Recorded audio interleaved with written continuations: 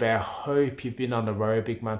I hope you've put in the miles, running, everything, rounds as well. Because otherwise, if you come like you did against Francis Ngannou, nah, mate, it's not going to work out for you, Stipe.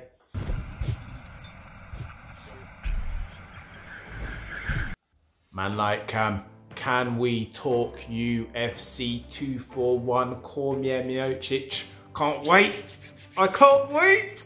It's. So Cormier beats Miocic first time round. I think, I want to say first round TKO, man. He hits him on the break, the scrambling and dirty boxing, hits him, knocks him out, bang, done. Um, people say it was a bit of a lucky punch. I don't know anything about that because DC had said that he'd seen something in Stipe Miocic that when on the break, he kind of switches off a little bit.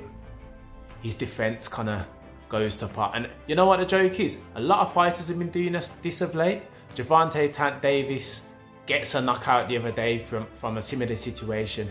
It's a weird one that high level fighters tend to go to sleep on the clinch break, especially mixed martial arts dude, and especially dudes who have defended four times, I think, for Stipe Miocic and are as high level as Stipe Miocic.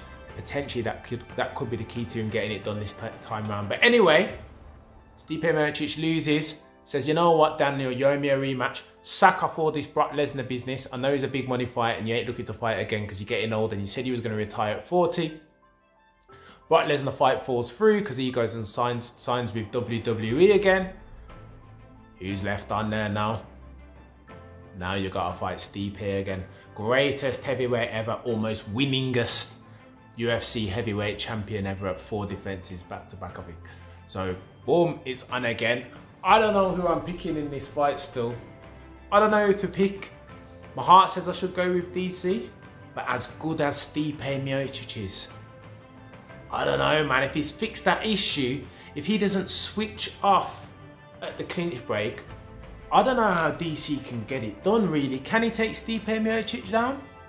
He's a brilliant wrestler, isn't he? But I don't, I don't know, the size difference. Well, I suppose it's never hurt DC before. The way he was flinging around Josh Barnett in the in in the wrestling. Nearly, I think he even took down Johnny Bones Jones once. So boy, if you can get those two down, then what's to stop him doing the same to to Stipe Miocic? You know what? I'm favouring Stipe. And the reason why I'm favouring Stipe is because a good, the old adage in boxing, a good big man will always, or most of the time, be a good little man. And how, how many fights more is Daniel Cormier going to overcome substantial physical disadvantages? Shorter, less reach, not as quick. I, I, I don't know if you can grind out Stipe again. And Stipe has had 12 months to prepare, right? Very wisely, I might add, sat out and waited for his rematch. Don't be fighting these other dangerous heavyweights in the meantime. And then all of a sudden you get an upset defeat, as can happen in mixed martial arts and combat sports. And then you go to the back of the line. Fair play, Stipe. Use your head, man. Just waited it out. Brock didn't fight. You got the fight. Fair play. I, I fancy Stipe. I don't know if I'm going to put money to it. I haven't looked at the odds. I suspect that DC is ever such a slight favourite. Um, but I think Stipe, by by using his boxing and keeping DC at range as far as possible, not forgetting to give defense respect on the clinch break. I think if he ticks those three boxes, man, he can get it done against DC. And then unfortunately, our DC John Johnny Bones Jones 3 is is down the pothole, isn't it? I really want to see that fight. I really want I know DC's lost already to Johnny Bones Jones twice. But what bigger fight in UFC is there at the moment? I want to see that fight. Hence, I am secretly rooting for Daniel Cormier to, to get it done against Stipe. Now, what does Daniel flip reverse this? Daniel Daniel Cormier's keys to victory. He needs to put it on Stipe Miocic for five rounds from the outset. Needs to close that. The same old Daniel Cormier modus operandi, right? Needs to close the distance, get a hold of him, chain wrestle, make make him work at every junction. Because we saw Stipe. Stipe, even though he didn't have to work too extensively against Fran Francis Ngannou, Towards the end of the fight, the third and the fourth and the fifth, there were questions about his gas tank. You can't have a Conor McGregor S-type gas tank. You can't have it against Daniel Cormier because Daniel Cormier is going to make you work every second of every round for five rounds. To put the pressure on you. He's to chain wrestle. To get you to the ground, and when you're to get when you get back, he's to look to double leg you, leg you again straight away because that's the type of dude that Daniel Cormier is. Olympic level wrestling, Division One, crazy gas tank. The geezer trains with Cain Velasquez for God's sake. Cain Velasquez. That's a serious gas tank. Steve, I hope you've been on the road, big man. I hope you've put in the miles, running, everything, rounds as well. Because otherwise, if you come like you did against Francis Ngannou, nah, mate, it's not going to work out for you, Stipe.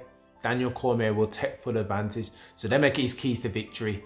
Daniel Cormier's gas tank, pressure, closing the distance, relentlessness, and resilience. But again, we can't question Daniel on them things. It's not like he's gonna, uh, he's fighting at heavyweight, man. It's not like he's had a stiff weight cut getting down to 205. Listen, that geezer's gonna come with gas for days and sick wrestling. So Stipe wants to fight hard and clever for five five rounds and keep him at the end. Post right, keep him at the end of the jab and spot fight smart on the on the clinch break, and he'll be all right, man. Stipe to get it done. I'm backing him. But I want Daniel Cormier because I want the third Johnny Bones Jones fight. Nate Diaz, Anthony Pettis, blimey. At 170, so I know Anthony Pettis has only recently moved up. Why does he want that smoke with Nate Diaz at 170? Nate Diaz is coming off a mad left. Mate, the dude cut down to 155. I know Nate Diaz, much like Daniel Cormier, has got gas for days. The dude's doing triathlon in off season for fits and kicks. He's got gas. But still, man, listen, Anthony, I think that's a really bad mistake. Make the dude cut down to 155. You need every advantage that you can get in this fight game. It's a serious business. Anthony Showtime Pettis, kicks, sick, Low kicks though, sack off the body kicks. You need to take out Nate Diaz's legs. You have to early as well. You got to commit to it, man. Um, Nate Diaz can get it done via pressure. If he pressures Anthony Pettis, we've seen it before where Anthony doesn't like the constant pressure. He's a man similar to uh, Stipe. He likes to he likes to take breaks in between rounds. So if Nate's serious, and, uh, and weaponizes his cardio, puts the pressure just like Tony Ferguson did against Anthony Pettis. Constant pressure, showing him different looks, and Nate Diaz can get it done. Anthony Pettis needs to be needs to show discipline in his strategy like we've never seen him before still. The dude likes to brawl. If he's being honest, as technically competent as he is, a lot of his fights descend into brawlery, right?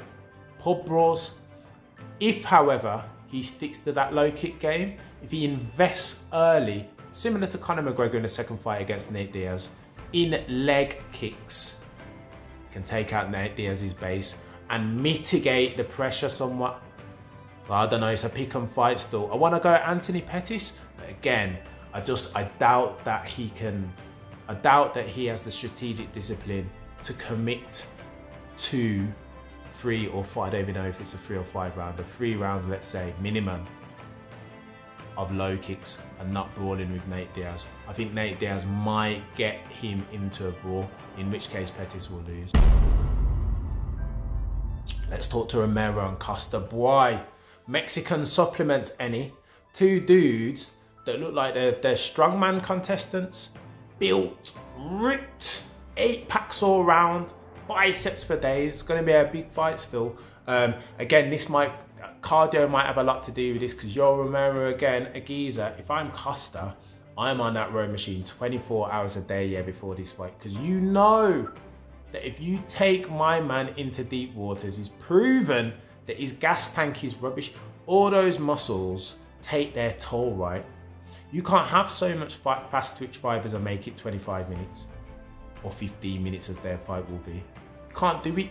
So Costa, again, I don't even know about Costa's gas tank because he's ripped as well. Maybe he doesn't have it either. But Costa invests in in the pressure game, gets his DC on, but then Yo's dangerous, right? Yo will just sit there and chill out, chill out, find his little gaps to rest in, and then all of a sudden, boom! Flying knee like what he got Chris Weidman with. So he's a very, very dangerous dude, and his wrestling's peak, right? But again, I feel like he's Cardio is his weakness. Common theme here. Cardio is either their strength per Nate Diaz and Daniel Cormier or, or potential weakness per Anthony Showtime Pettis and Stipe Miocic. And now Yoel Romero. If you can get him to dive deep on his gas tank and not give him a rest, Yoel Romero is there and obviously protect yourself and avoid the, the big explosive attacks when he runs forward like Wanderlei Silva used to. Yoel Romero is there for the taking. Um, keep it on the feet, Costa. Don't wrestle with this monster geezer, this physical freak that they call you Yoel Romero. Um, yeah, I don't know, man. I don't know. I think Costa can do it, but why? That geezer, Yoel Romero, who would want to fight that physical freak? He's only 100 years old as well, walking around with six pack. I exaggerate ever so slightly. He's probably about 40 years old by now. But he's still walking around looking like a physical freak if he's not on the Mexican supplements, I know he's just got 27 million for a, for a tainted, a tainted supplement. But if he's not on the proper supplements, I don't know who he's. And when I say supplements, I mean PEDs. Um, looking forward to it, man. UFC 241. Don't forget to smash the like, comment please, and subscribe to the channel. There'll be more of these boxing, combat sports, UFC, Muay Thai, K1, everything. Bless for watching, and I'll see you in the next one.